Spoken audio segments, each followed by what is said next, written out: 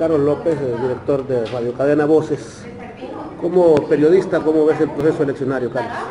Bueno, yo lo he visto hasta el momento con mucha normalidad, es decir, eh, eh, más bien eh, un poco asustado que ha habido menos publicidad. Me imagino que ha haber sido por toda esta creación de, de lo de la MASI sobre la unidad de política limpia.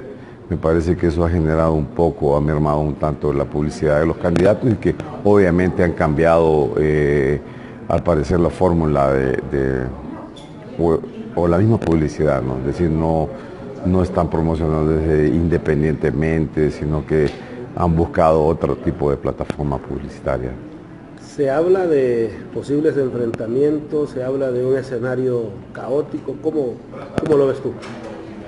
Bueno, es que eh, ahí hay que saber detectar, hay que saber, o sea, discernir ese punto es un poco complejo, ¿no? Porque Suele ocurrir, yo estaba en diversos procesos electorales, no solamente del país, sino que a nivel de países de Latinoamérica y suele ocurrir que cuando eh, se levanta una atmósfera de, fraude, generalmente el que va perdiendo eh, quiere un debate con el candidato que está arriba o, viceversa, ¿no? Entonces esto al final, si no le sale favorecido determinado candidato, se genera un ambiente de, zozobra.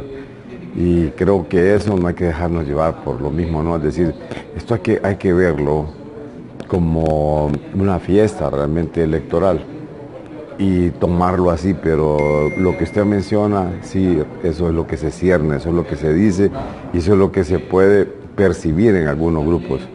Los liberales dicen que no van a aceptar resultados de transmisión, sino que el conteo de votos acta por acta.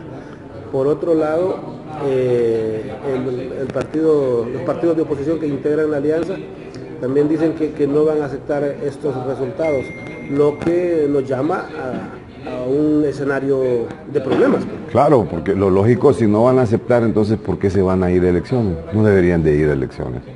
Es decir, si yo siento de que alguien me va a hacer un fraude o que si yo no voy a aceptar un resultado, es sencillo, no me voy.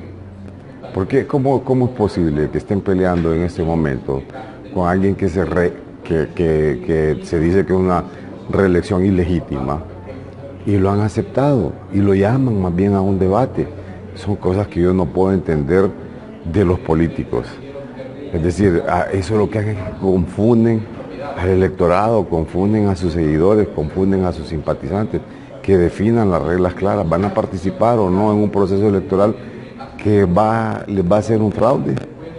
Pidieron que les cambiaran una compañía, les cambiaron una compañía, ahora dicen que no, que está la misma compañía con otro nombre.